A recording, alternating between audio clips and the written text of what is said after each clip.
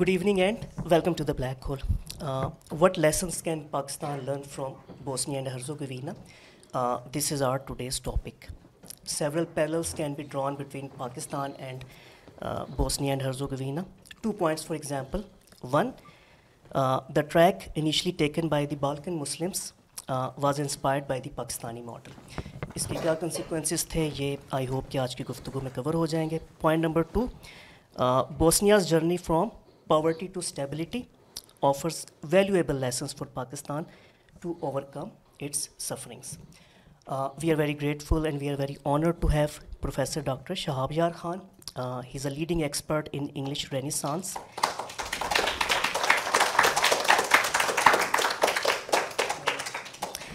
He's a leading expert in English Renaissance and Shakespearean studies at the University of Sarajevo, Bosnia and Herzegovina. Uh, a brief uh, bio. Uh, since 1997, he has devoted over two decades uh, to promoting Shakespearean drama and English literature in the region. Also, he's the founder of uh, the Shakespeare Drama Club at uh, the University of Sarajevo. Author of eight critical books and numerous research papers, और I think कुछ उनमें से prize winning भी है in the Bosnia, or best sellers actually. Uh, his pioneering theories on the nature of Renaissance, including Janissance and Primusance, have gained international recognition. Uh, Dr. Shahab Yar Khan has toured Europe, South Asia, and North America, uh, contributing significantly to the study of teaching and pedagogy. Uh, in response to the COVID pandemic, his views on teaching have gained prominence. Currently involved in various academic and theatrical projects, including his upcoming novella, Job of an Interpreter, based on uh, true accounts related to the refugee crisis in Europe. So, of course, we are very honored to have him here. इससे पहले कि हम ये session शुरू करें please do one thing and this is that आप अपने जो सेल फोन्स हैं उसको साइलेंट मोड में कर दें ताकि किसी तरह की डिस्ट्रैक्शन ना हो when the house is open for Q&A uh, and you want to um, share your views, just raise your hand, or microphone. अपने हाथ में आने के बाद आप अपनी बात कीजिएगा ladies and gentleman let's welcome doctor Shahab Yar Khan. Thank you. Very grateful for all this uh, amazing place which I have been watching online for years and years. I watched almost all black hole programs and what a pleasure it was to see Pervez Hoodbhoy as well and had a photograph with him. He was my childhood hero as well. This kind of awareness that we have today in our civilization, that what is actually culture, what is knowledge, what is wisdom, what is chaos, and what is anarchy. If you look around yourself, it's possible that we have lost the touch of that line which demarks the two various kinds of modes of life. I've been, you know, driving around Lahore, especially Islamabad as well, and it seems that uh, okay, it was never something very disciplined traffic. I mean, 30 years ago, 25 years ago as well. But now what we have, chaos is not a word for that. It seemed that gradually a collapse which was going on for almost two, three decades has now reached its very bottom. What's next? That's alarming. And for that kind of talk, this kind of a stage in a very uh, confused kind of civilization, where we don't know what we say can become all of a sudden a crime, could become all of a sudden something which can uh, inflame people's uh, feelings, you know, hurt their minds. It's a blessing of God, trust me. I have seen Professor Ishtiaq Ahmed here talking three programs in a row. I've seen some of the other great academics coming here, you know, and talking about various things. Chandrayaan, which was uh, not very much welcomed by the, though state welcomed it actually, but it seemed that uh, when it comes to common understanding on media, many people claim that perhaps it never landed. Here, on this platform, Parvez Hoodbhoy had a program. He talked about it, in what way this trajectory, which was so precisely managed. We can learn something from Chandrayaan. I was celebrating in Bosnia and Herzegovina, Ahmed was celebrating, Amina was celebrating with my kids, you know. And we realized the way Parvez Hoodbhoy has organized this thing is kind of a blessing for us, all of us, whether you live in Pakistan or you live abroad. That's why I thought when I'm here in Pakistan, I had some, you know, at least eight or nine various kinds of lectures at various universities in Lahore. I was surprised to see the standard, it was amazing. But then Parvez Hoodbhoy decided I could come here as well and talk very briefly about my understanding of civilization as I see in Bosnia Herzegovina and the way I have observed Pakistan because after all subcontinent is in my blood, in my soul. As I say, uh, you can leave anything if you are subcontinental, but you cannot leave your subcontinentalism. Uh, that will be there always, even when you are deep down underground. Bosnia Herzegovina, I decided to have this kind of a introduction for our audience here. As you can see, uh, you know perhaps the 1990s war had destroyed the country completely. You can see this is our town hall, which was the biggest library of Sarajevo, and of course among the three largest ones in Yugoslavia. Uh, this was the monumental destruction. I mean, they say around three to four million documents, archives, were burnt here in this library. That was complete destruction of a civilization. These uh, monumental documents dated back to four centuries, five centuries. When this was burned, history was gone. And then happened this the massacres, concentration camps, women, children, atrocities of the kind they say Europe had not seen since the Second World War. The world was celebrating at that point. This is NATO officers sharing their drinks with the aggressors, the Yugoslav army generals. And here I've quoted uh, perhaps the most famous lines by a great Bosnian poet, Mak Dizdar. I wish his poems could be translated in Urdu, perhaps, in Punjabi as well, in other languages, because he's the most relevant poet to us. These lines are amazing. I cannot translate all, but just for the taste. This earth is a seed which bears death within. But then death is not an end.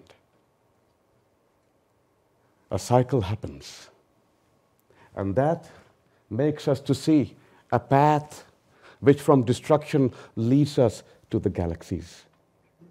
It's an amazing, amazing idea. How your own destruction, our own death, can actually be the cause of uh, setting us free from the chaos that we have lived in. Mak Dizdar died in 1971, but most of his poetry was relevant in 1990s. He became the most popular poet. Then came the second phase. The war stopped, Americans interfered, reconstruction began, town hall was restored. This is the same library.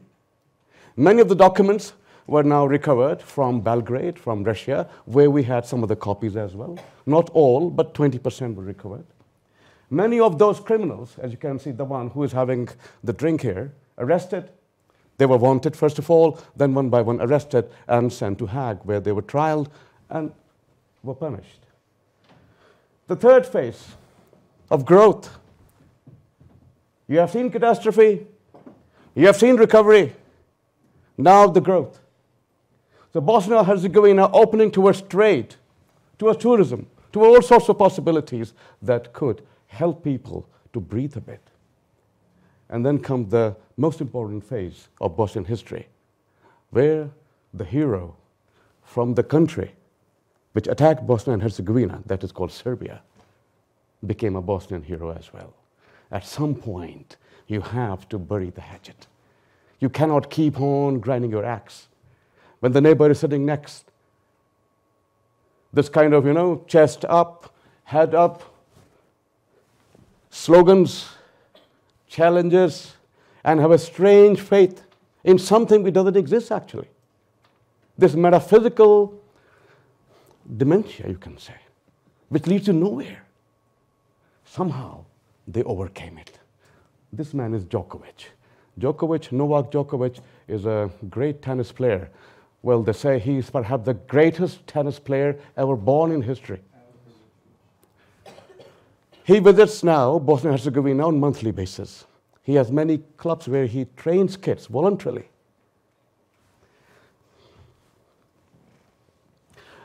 This phase of progress has many phases. I think the most significant one is this one, when banking sector became somehow stable and money started coming to Bosnia and Herzegovina. As, as you can see, I've written here, the point number two, the financial system is based on the existence of currency board. Uh, all of us understand what is currency board. For example, some countries can enter into an agreement where the value of their currency in comparison with some superior currency, in our case, euro, for example, is considered stable. It will not change. It's not variable. So, uh, for example, we have one euro equal to two Bosnian marks. Now, this was a great incentive. As a result of this incentive, we had all sorts of money flooding into Bosnia and Herzegovina. All these banks that you see up are basically European banks. They have very deep roots now. People get good services. We have new kind of technology introduced in finances. And of course, as a result, our GDP has grown. This is eighth consecutive year of Bosnia and Herzegovina when we are in surplus. 31.92 is the percentage of the growth of GDP in Bosnia and Herzegovina. Foreign currency reserves have increased. As a result, our salaries, which were very, very, very meager in amount, are slightly better now. I mean, if you trust me, I have worked in my university, which is called University of Sarajevo English Department. I began with 250 mark. At that point, Deutsche mark. You understand? I mean, 250 mark. Today, it is in several thousands. It's a huge difference within a decade or so. Third aspect is also connected with the trade idea. Bosnia and Herzegovina. Uh, as you can see, I have added this picture here. It's one of the most iconic picture from the wartime. Women, 50,000 of them, taken to concentration camps. What happened with them? we all know about it. It's one of the most horrific, horrific chapter of human history, what happened with those 50,000 women in those camps. But within two decades, there's a Bosnian woman over there, one of the UN representative for IT. We have produced at least two dozen of these girls in the last two decades, which is almost one girl a year which have, uh, with the power to represent Bosnia and Herzegovina in fields of culture, entertainment, and of course, information technology. What Bosnia has done in the meantime, which side would you go? You have, on one hand, Bosnian population, 55, 52%, now there's a 55% perhaps, Muslims. Then you have 35% or so Serbs, Orthodox Christians. And then you have, of course, 12 to 13% Catholic Christians. So which way to go? You have entire Islamic, how we say, ummah, with hands like this, you know, in 1995, welcoming you. On the other hand, you have Russia, the allies of Serbia. Then you have communists. If you're living in some uh, more traditional uh, country like Pakistan in 1970s, things are different now. Heathens, non-believers, and then, of course, Europeans who never came to help you during the wartime. Which way to go? An amazing balance policy was introduced. On one hand, you can see the Indian head of the Chamber of Commerce. They initiated in uh, 2016 a forum which actually had to launch the Indian companies of various kinds of you know, production companies. It could be entertaining houses as well, film production as, as well, moving towards Bosnia-Herzegovina, using Bosnia as its platform, and by 2025, they had to have some results. Time is coming very soon. And then Chinese, of course. Chinese decided that uh, the best way to have some kind of investment in Bosnia-Herzegovina, we call it Bosnia-Herzegovina, Bosnia-Herzegovina, is to grab all the possible means of transport. Today, within this four or five years, everything that you think as transport, be it a, trolley bus, be it a tram, be it a train. It's controlled by the Chinese. And the infrastructure they have introduced there is amazing. Within three to four years, city has changed, country is transformed. As a result of this interest of India and China, otherwise two rivals in Bosnia and Herzegovina, the state had to introduce means to have more security. Result, Bosnian, uh, the crime rate in Bosnia and Herzegovina is now reduced to minimum 0.98, 24% decline from 2020. On the other hand, we are in Pakistan, increase of 6.48%. Investment cannot possibly come if law and order is not well maintained.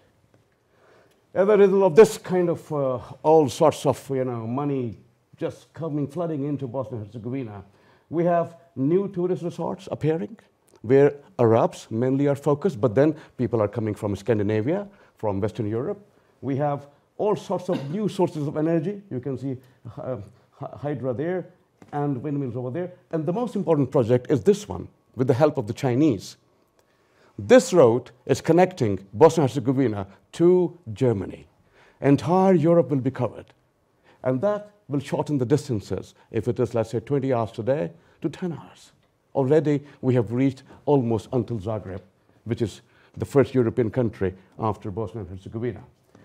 Just last week, the president of EU, Ursula von der Leyen, she has given this statement. As you can see, Bosnia and Herzegovina's future is in European Union. And how much we want to have you as the full member.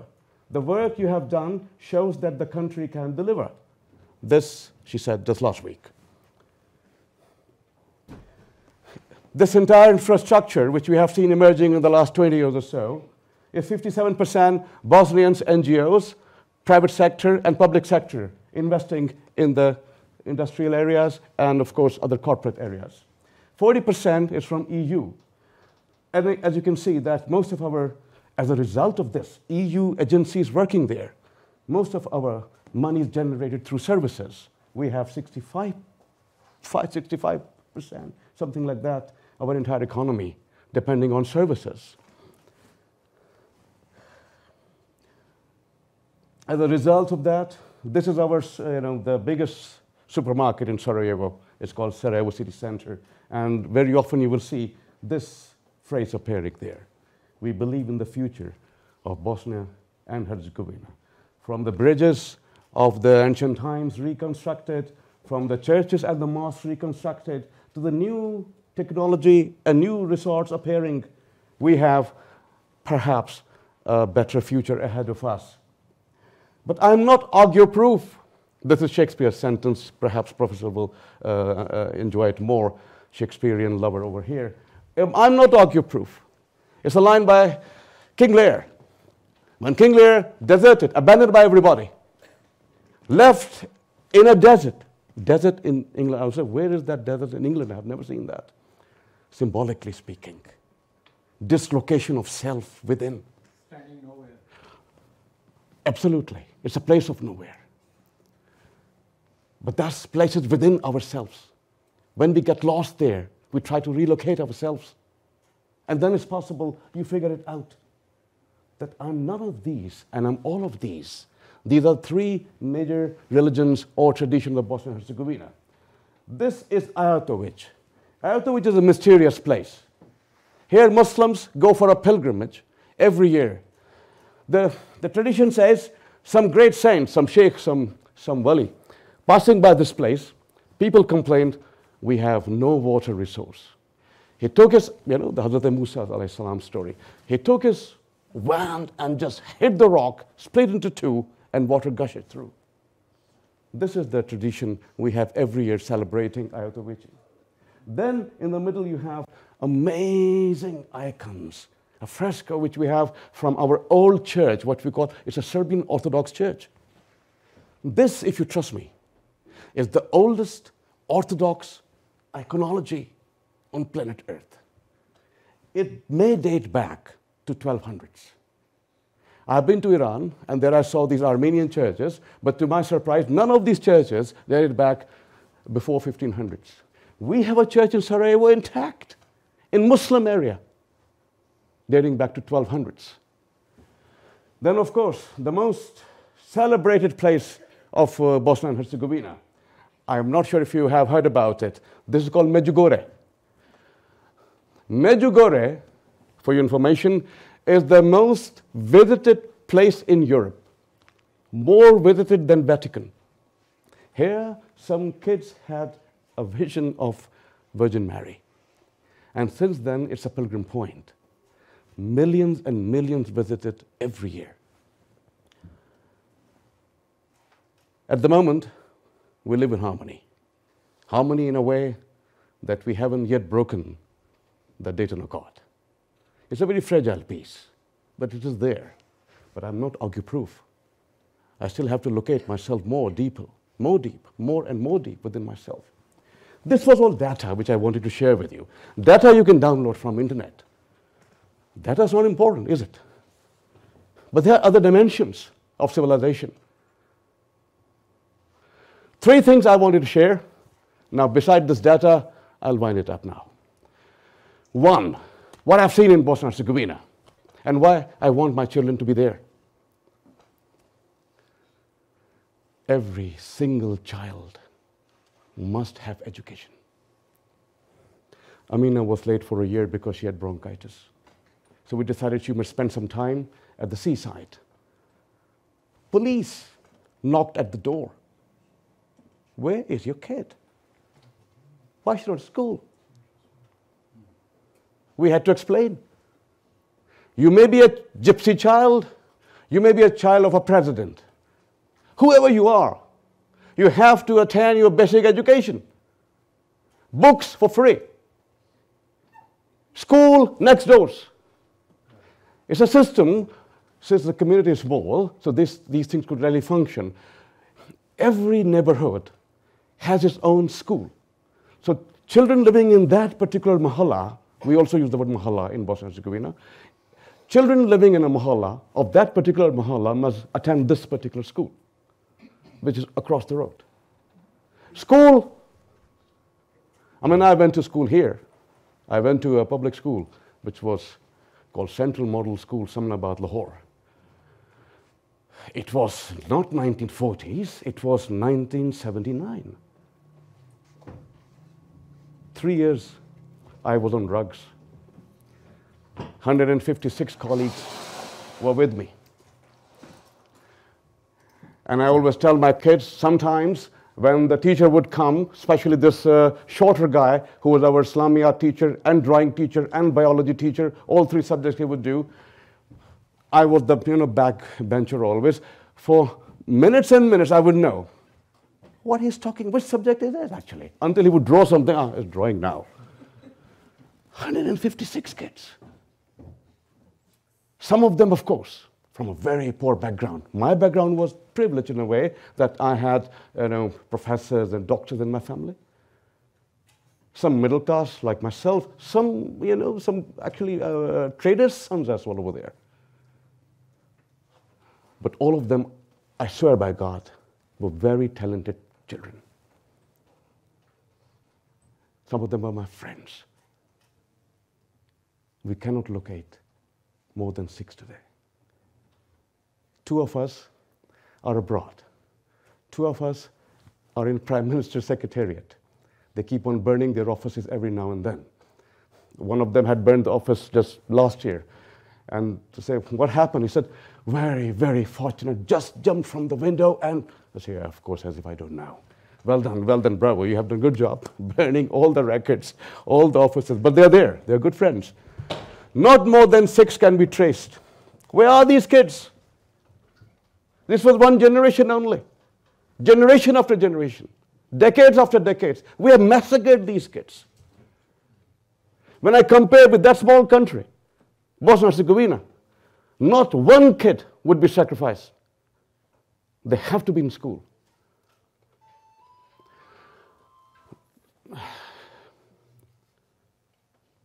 Two, which I want to share with you.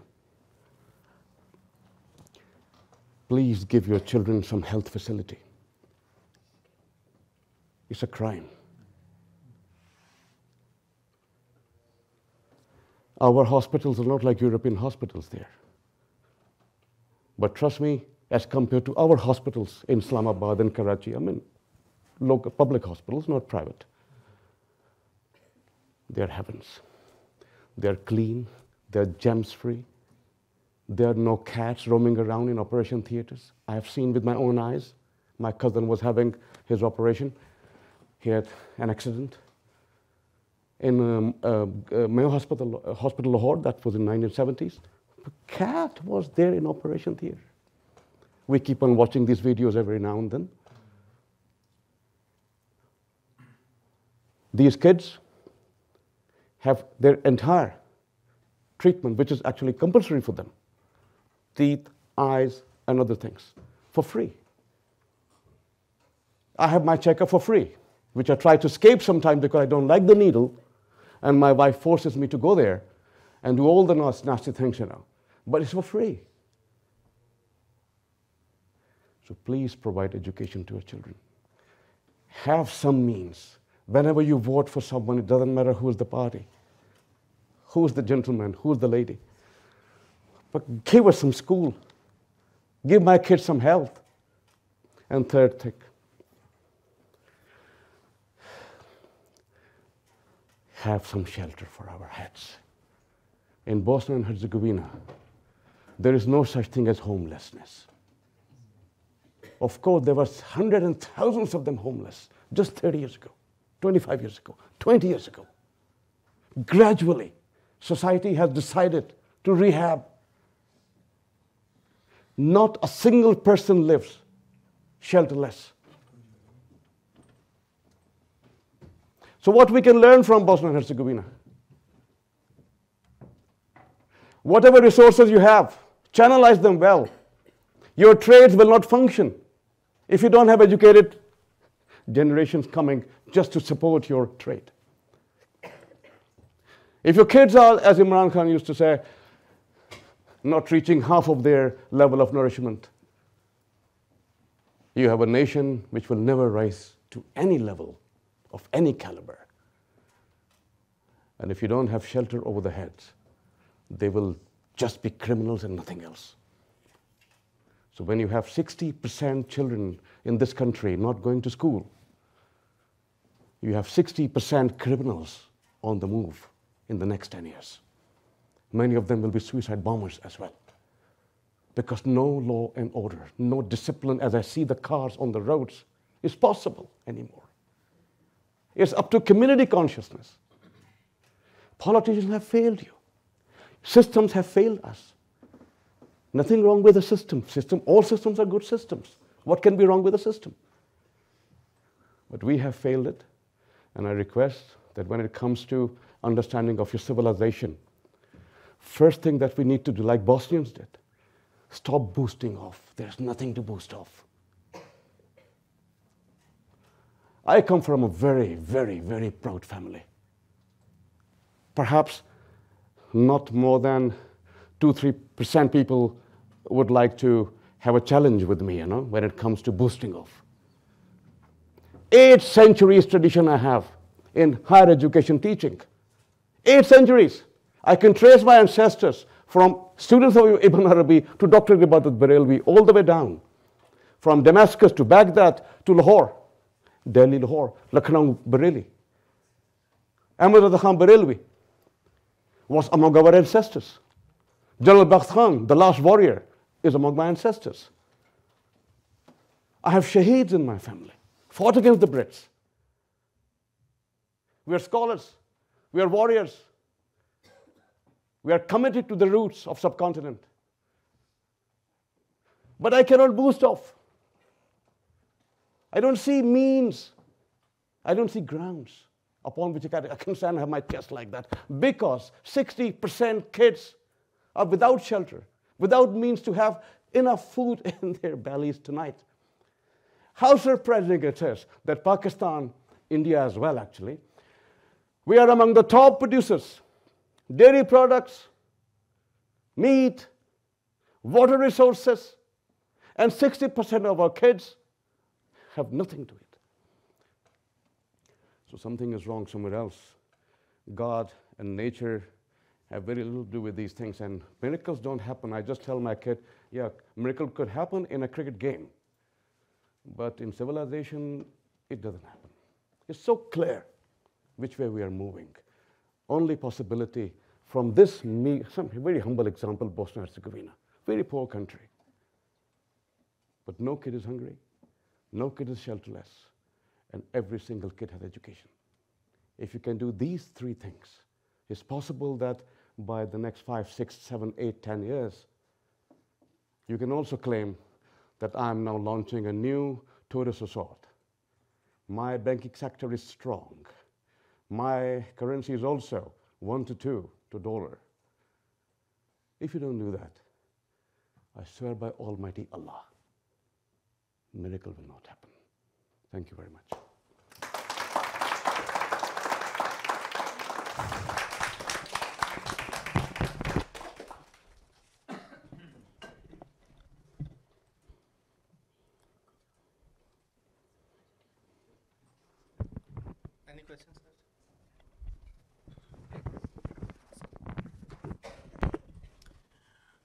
Uh, thank you very much. Very thought-provoking.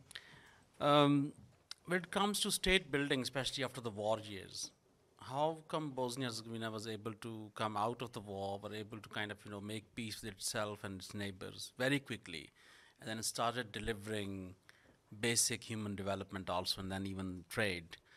And I'm saying this because I mean, I'm, you are a scholar of South Asia as well in many ways, and you understand in our case, our politics really struggle to create consensus and move a policy. And since 1990s, uh, you could see that even on the fundamental quest- questions of you know how to run politics or how to run a state, we really struggled even between key political parties. So I mean, overcoming these special interests and then creating consensus in a very diverse country, how did that happen? Yeah, it's a very good question. Thank you very much for this. I, it's very clear, actually, and many uh, political scientists have talked about it, that how it happened so quickly, that we are on some, we have some direction, actually. Until 1999, 2000, when I reached there, I think the, the crisis was still going on. The war fever was there. There were bridges in Mostar city, for example, and I was working on, on the Muslim side, where we had just established a Muslim so called university, which I wanted to make diverse, which I did, alhamdulillah. On the other side, where Catholics had taken over the city, university was uh, not permitting any kids to enter. So they wanted to have mass migration of Muslims. And many colleagues suggested, please don't cross, because the way you look like an Arab or somebody, you know, uh, we don't guarantee anything. This was until 2000. 2010, until you know, I was in that university called Džemal Bijedić University, Mostar. Traffic was fluent, trade was going on from this Medjugorje, which is a Catholic place. I mean, caravans and thousands and thousands would come to the Muslim area, which is also, you know, historical area.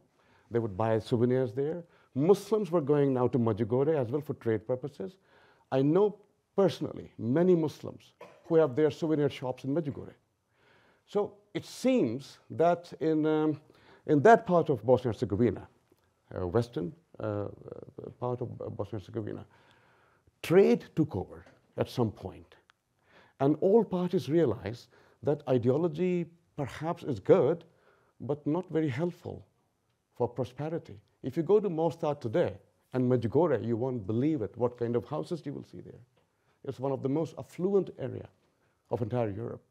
Similar thing happened five, six years later, that is 2015 or so, uh, in the other side, which is actually Srpska Republika, which is Serbian dominating area, and the Muslim dominating area. Finally, these people who had those slogans, you know, were defeated. They lost elections because the new generation, which had some knowledge, some information, gadgets in their hands, some primary education, could challenge. Education helped them to question what kind of Islam you want us to have. We are Muslims But we are hungry Muslims. We are isolated Muslims. Help us to merge with Europe. And as a result, I think borders were opened. You won't believe me again. When Arabs decided to enter, because the borders were open for Arabs, no visas, accommodation sometimes 80% discounts. They just wanted to have somebody to come. And they flooded in. When it came to this idea, okay, we can have some Arabic mahallas, neighborhoods, quarters, where to locate the land. And Arabs decided they will have the high mountains at the top of Igman Mountain. Igman Mountain falls within the jurisdiction of Serbia, Srpska Republika, Serbian government. And the deal was broken between the Muslims and Serbs, and land was allotted. Amazing infrastructure is there now. If you want to go to Serbia today, as a result of these, what you, we used to say at some point, confidence building measures. You remember this term in 1990s we had with India, CBMs. Because of these CBMs, today, put your stuff, whatever it is, in your car, cross Serbia, no tax, sell it over there, come back to Bosnia Herzegovina, and vice versa. Montenegro is open to you, Serbia is open to you today. That's why Djokovic comes there. So I personally think trade is the key.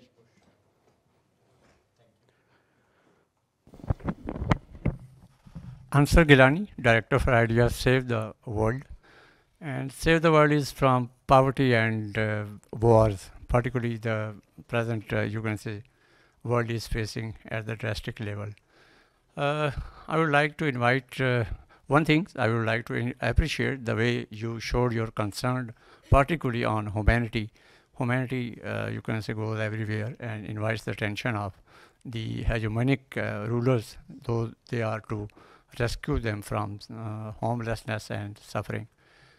Uh, cases like Kashmir, uh, the Palestinian and the Bosnians faced uh, one of the worst uh, uh, target killing and genocidal.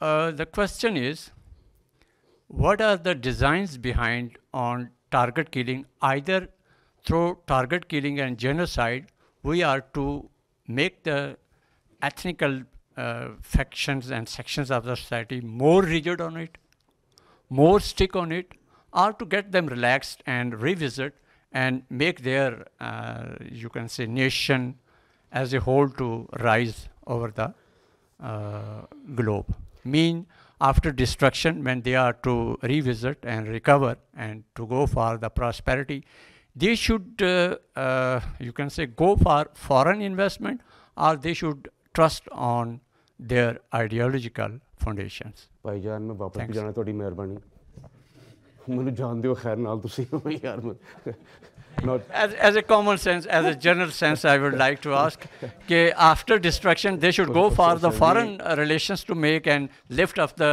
uh, you can say, downtrodden society, or once again, they are to revisit their ideological foundations. I come from a very traditional family. You can understand that. You know, we have huge, huge history behind us. And what I've, whatever I've learned from my ancestors, what I've read in my library, you know, what I've seen from Prophet Muhammad I've come to this realization that ideologies don't exist. Humanity does. So whenever somebody has done committed a crime somewhere, be it Kashmir, be it uh, Palestinians entering Israel or Israelis bombing over here, you can't put actually parallels because sometimes uh, reactions are extreme, you know, disproportionate. We can't draw parallels. But whatever is a mishap, is a mishap. And when we, as a philosopher, as a thinker, as, a, as an educated person, when you reevaluate the situation, I think ideology should not be within it. It should be dynamics of, first of all, life. I mean, you know, when, when Bosnian War began, I, and Ahmed is 10 years of age, and I think he understands more than many politicians in Bosnia Herzegovina these dynamics because he, he reads a lot, he questions a lot. And our first question was, just a few years back, when the war started, you have no weapon, okay? There's an embargo on you. You're a Muslim community. What options you have? Fight with sticks, rocks, just jump in front of the tanks. They have tanks. JNA, that is Yugoslav National Army, was the fourth largest army of Europe. It was a heavy military machine. You have no weapon. And how a leadership could take this position that we will fight? I don't see it in alignment with Muhammad who decided no fight for 10 years. If I'm wrong, please correct me here. Unless you have your horses ready, how can you think of a war? You have to enter an agreement. And this is our one of the biggest problems, you know, uh, people like myself and this new generation of Bosnia and Herzegovina, why we had to go through four and a half years of total destruction. When I, when I saw Bosnia and Herzegovina in 1998, nothing was intact, not a single building, nothing. Human, how we say, ego smashed. Your sense of honor gone. Every second, third household had a woman kidnapped. So, how to survive? How to survive? There's no, there's no outline to survive provided by the politicians who led them to a war. Now, you can say maybe they were trapped themselves. It could be. We, if we were in that situation, I don't know how we'd have, we would have reacted. But whatever, whatever was done in 1991 was not the most wise, logical thing to do. First thing, I always say, I conclude this one. I always say this is my understanding of a country. Country is not your boundary. It's my question, it's my challenge. You can disagree, of course. My position a country is not a boundary. A country is every single individual. Why don't they teach us this thing? Instead of teaching us, I'll protect every inch of this country. Tell us once, for God's sake. I'll protect every individual of this country. Every child will be protected. They never say that. Zelensky is going for protecting every inch. 10 million people are uprooted. Every inch. Who the hell am I then? I am Pakistan. I am Bosnia Herzegovina. Who, what is the land without me? Why don't they tell us this thing? They went for a five years war, leaving us absolutely broke. Thank you. Hello, sir.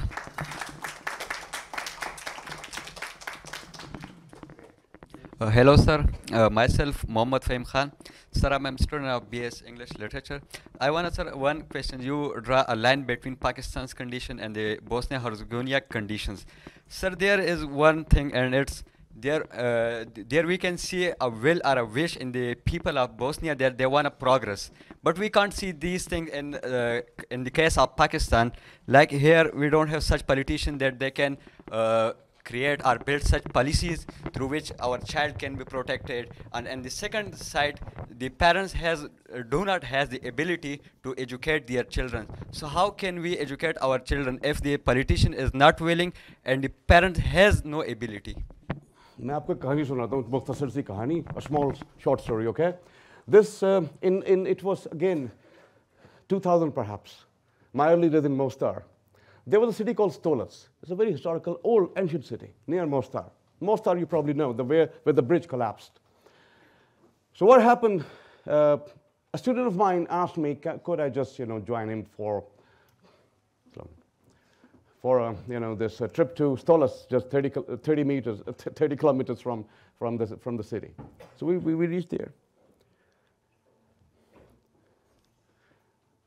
This city had a mosque in it, one of the most ancient mosques of the Balkans, six centuries old mosque, bulldozed, erased by the enemy. Now, when the Dayton Accord settled, Muslims were you know, sent back to their homes, at least partially. They asked the state and UN to have their mosque back, where they were constructing a church. And the states finally agreed okay, you will get your land, but the money is coming from Saudi Arabia. There's the map, that's the model. You have to, you know, the way they want, the Saudis, this is how this has to be this way. This boy and thousand others, they stood against the map because that was not the map of that mosque. This is, this is not our mosque. The government said, if you don't build this mosque the way, we can't help you because there's no money. And there's the answer to your question. An entire community stood up, brick by brick.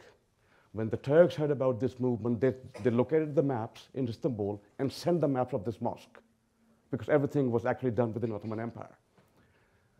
Brick by brick, a great English humanist, Martin Lings, whose Muslim na- name is Abu Bakr Sirajuddin. When Martin Lings heard about this movement, he came to see Stolac and he brought with him millions and millions of pounds. You know where you're from? All the Muslims, all the non Muslims of Britain wanted to contribute for this iconic mosque built by the community, denied by the state. People build the mosque as it is. Just Google today. It's called uh, mosque. You just write mosque in Stolac, and you will have this amazing mosque. Its minaret is still there, intact. And this is the, one of the only places in Islamic lands, you know, that where we have this amazing inclusiveness. You know what? If you look at this uh, minaret, it has a Hindu sign on it, it had a Hebrew sign on it, it had an Islamic sign on it, and it used to have a Christian sign as well. If you see the old pictures, it's one of the most amazing things that we could offer to mankind inclusiveness. And if you do- don't, if you don't know that Sophia, the mosque, also has in it icons. Gabriel and Michael and Jesus and Mary, they used to offer prayers. We, we used to be a very different kind of people. The only solution for Pakistani problem at the moment, which I see not happening in near future, is actually communal work. Community should get together from mahala to mahala, generate resources. I just ask, you know, these people here that if you're an educated person, you can teach at least five to six kids a year. Volunteer. All great nations do volunteer work. States cannot do it because they're crippled, they're selfish, they're egocentric. But if you love your land, which you should, you're born here, I'm born here, then you have a responsibility. Talk and do volunteer work. So,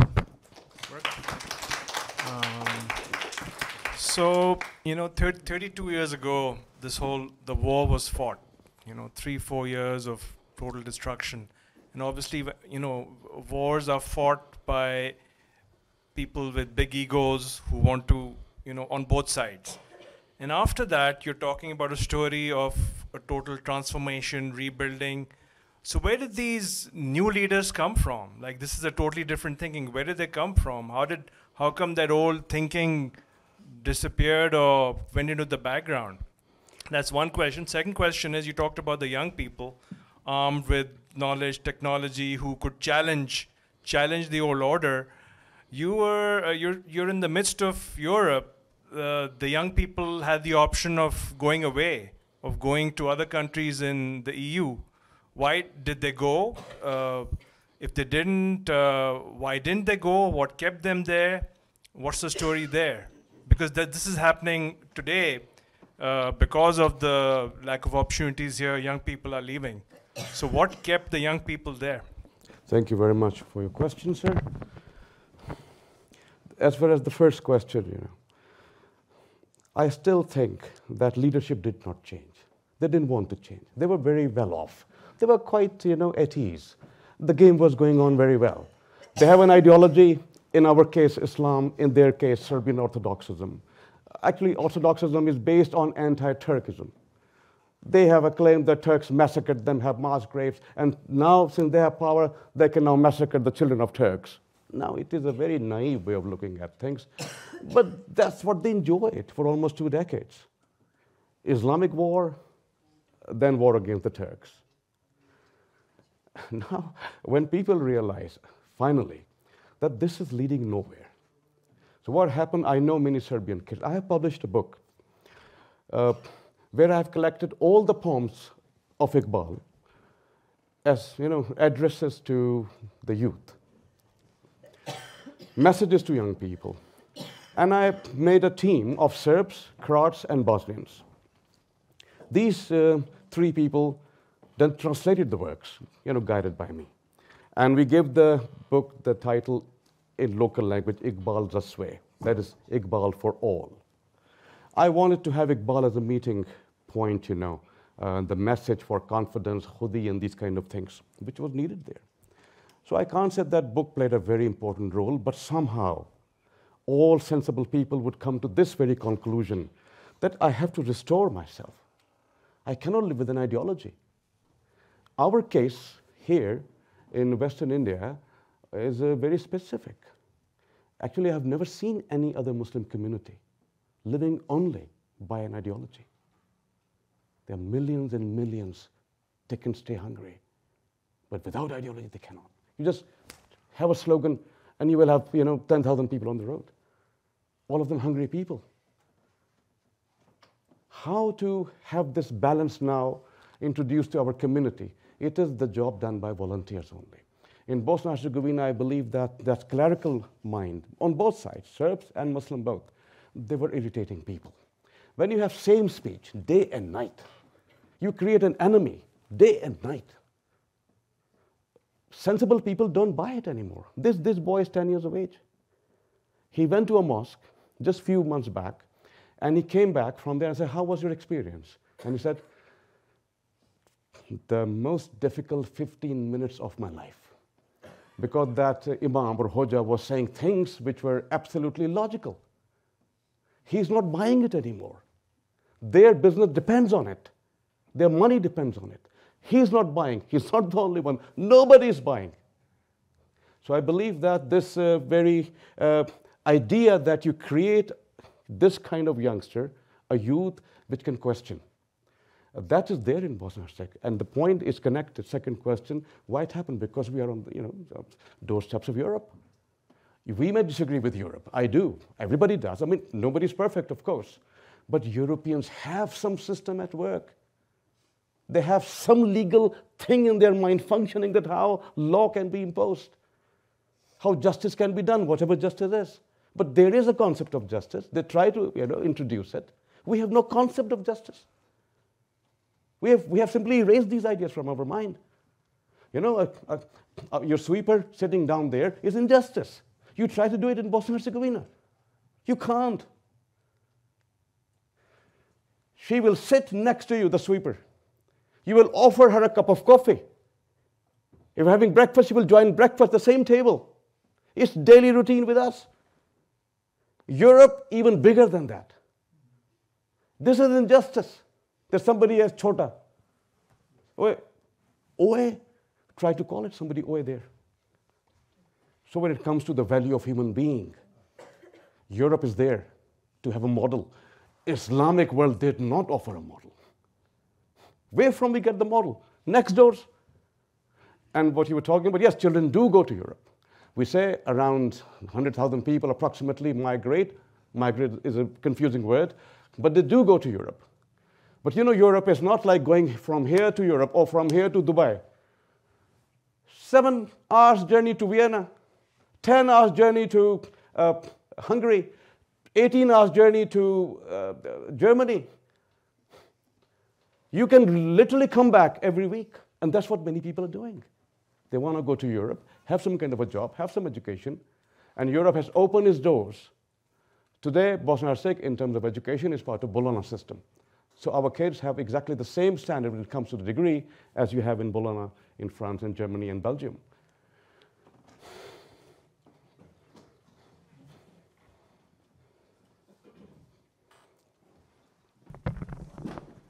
بہت شکریہ آپ یہاں تشریف لائے اور میں خاص طور پہ یہ اپریشیٹ کرنا چاہوں گا کہ جو جو درد مندی ہے پاکستان کے لیے یا انسانیت کے لیے آ, وہ یقیناً قابل تحسین ہے میں کوئی سوال تو نہیں، لیکن ایک چھوٹا سا کومنٹ یہ کرنا چاہوں گا کہ پاکستان اس وقت ایک ٹرانزیشنل فیس سے گزر رہا ہے۔ اب جو یوتھ ہے، وہ سوچتی ہے کوشچن کرتی ہے، یا اس طرف اس کی ڈائریکشن بن گئی ہے۔ اور ایسے میں ضروری ہے کہ ہم اپنی مسٹیک سے بھی سیکھیں۔ اور انفارچونیٹلی ہماری زیادہ تر مسٹیکس جو ہیں، یا آپ یوں کہہ لیں گے ہمارے زیادہ تر جو زخم ہے وہ ہم نے اپنے ہاتھوں سے خود ہی لگائے ہیں۔ اور most of our wounds are self inflicted تو ایسے میں اپنی خامیوں سے بھی ہمیں سیکھنا چاہیے ایک خود احتسابی کرنی چاہیے۔ اور سرٹنلی آج جو آپ کا لیکچر تھا جو ٹاک تھی اٹ از اے ریمائنڈر کہ ہمیں دوسروں سے بھی سیکھنا چاہیے اور اپنے لیے ایک بہتر راہ کا تعین کرنا چاہیے تاکہ ہمارا مستقبل جو ہے وہ ہمارے حال سے بہتر ہو۔ uh, اتنے زیادہ آباب آئے ہیں آپ کو سننے اور we are very thankful to you and khas pe for your kind words for the black hole. Uh, we are very honored to have you here. Thank you. Thank you very much. I really have the privilege thank you.